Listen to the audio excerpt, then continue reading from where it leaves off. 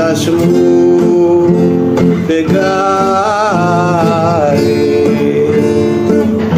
της μάνας μου ήσουν η ευχή. Της Παναγιάς